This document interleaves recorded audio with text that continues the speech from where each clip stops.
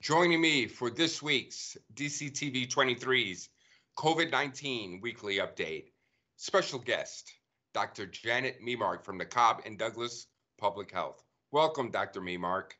Thanks, Rick. Thanks for having me. You've been a guest of mine for some time now, weeks into the coronavirus COVID 19 pandemic. Mm-hmm. And you have been providing so much information, so much details for many of us here with the county and our viewers as well. Um, I, you know, it's good to have you, and I want to get right to it. There are a number of questions that people would like answers on, and I'm hoping you can uh, help enlighten that. Um, I understand that the COVID 19 testing location has been moved from Hunter Park to the Douglas Public Health Center. When did this change take place, and why was it moved? So that's a great question. So we just moved it this Tuesday, June 8th. And um, the reason we moved it initially was to accommodate another group at Hunter Park.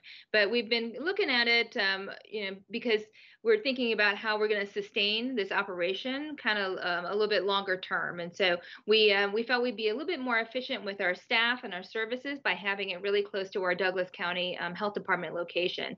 So we moved it over there, and it's been doing really well. And, and we've actually seen an uptick in the number of tests that we've been doing. So I'm really happy to see that. So it's over there from uh, Monday through Saturday, 8:30 to 11, and it's the 6770 Selman Drive location. So don't forget, you can go online, cobbanddouglaspublichealth.org, um, and then you can get in that way. Okay, great. We'll be posting this uh, show this week on our social media platforms, and uh, it'll be really good to inform people of that change. Yeah. Um, how many COVID 19 tests has Cobb and Douglas Public Health performed in Douglas County to date?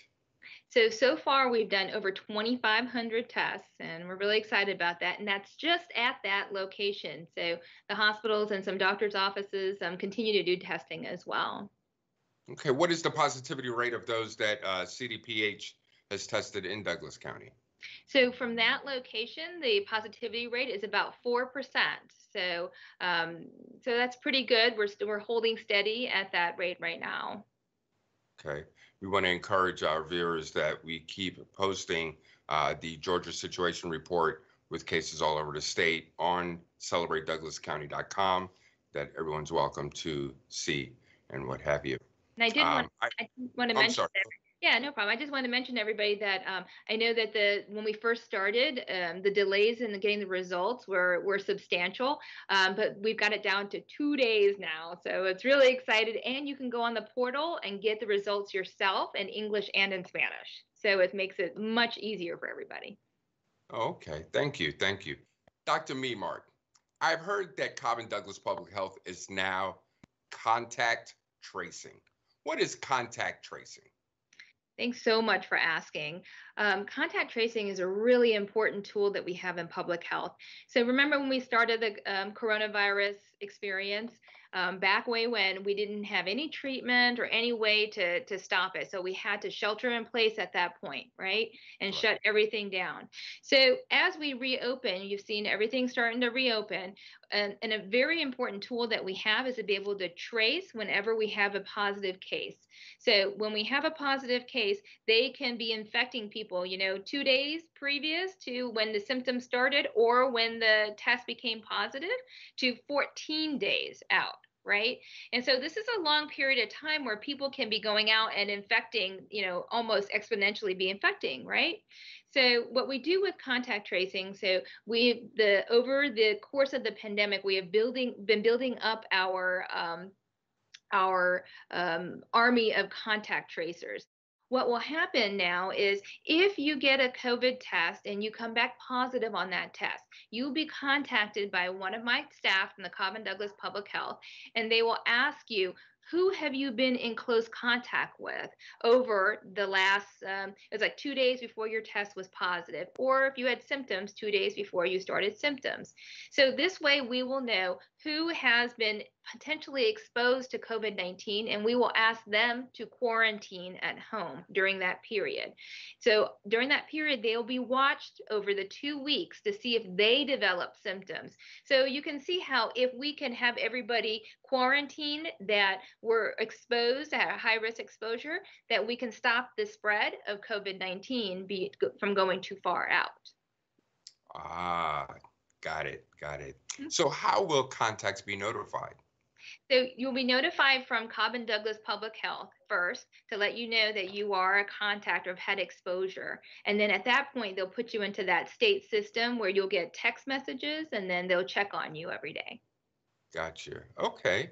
All right. Great. What are contacts asked to do? So, first of all, we're asking you to try your best to stay at home. So, you have now been potentially exposed, right? So, we ask you to shelter in place for those 14 days and kind of monitor yourself and maintain social distancing of six feet. I did not know, but your pets are included as well when you're um, sheltering uh, for a quarantine. So, that was a little bit surprising. I was I was surprised to know that, but it's good. I learned something new every day as well. So, but you're going to be checking your temperature twice a day, and then you'll be putting it into this app um, that the Department of Public Health has set up. And that way, they're electronically just kind of checking to see if anybody pops any symptoms. And then that person will have to kind of start the whole process again. But hopefully, you've been quarantining so we don't have that many contacts for you. So we're looking for symptoms. So this is a great time to remind people of what the symptoms are. So remember, fevers and chills, cough and shortness of breath, having any sort of fatigue, muscle fatigue, um, having headaches and sore throat, and then remember having a new loss of taste or smell. Those and then now diarrhea and nausea and vomiting have also been added to that um, lengthy list already.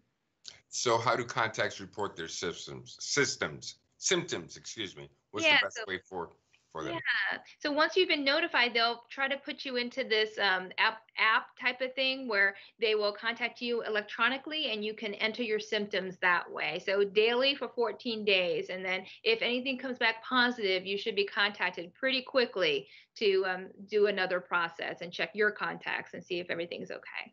So I know one of the key questions people are going to have yeah. is participation mandatory or voluntary?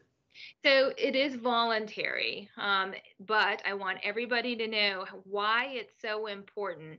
If we don't have people that are um, being a part of the contact tracing, that's potentially you're allowing people who have been exposed, first of all, to not know that they were exposed and they can get very very sick. And i don't think that's very fair right? So people right. need to know and they need to shelter in place. So once you find out you're a high risk contact you really need to stay home. If you don't know that you were exposed you could be out and about in your normal life and exposing i mean it could be hundreds of people and mm-hmm. so this is a public health, just really a critical piece to this that we all do our part to try to protect each other. So if you know you've exposed somebody, it's not your fault. It's out there. It's part of the community, right? We right. just have to try our best, but we need to let other people know how to kind of stop this from spreading. Dr. Memark, is there anything else you want to mention? Well, I want to remind everybody that they can get tested. It's still for free. Okay, at Cobb and Douglas Public Health, you come over to the health department with an appointment, and we'll get you through very quickly. Um, you so it's still free at this time. You don't have to have any symptoms, and I think it's you know great to have yourself checked if you're out and about in the world, um, you know, going to your job and going and doing normal things, grocery stores and all that kind of stuff. Get yourself checked every now and then, especially if you get symptoms. And this way, we can keep everybody safe. And don't forget to wear your mask so important. Dr. Memark, can't thank you enough for joining us today. Really appreciate. Thank you again, Cobb and Douglas Public Health Director, Dr. Janet Memark. Thank you so much. Thanks for having me. Have a great day.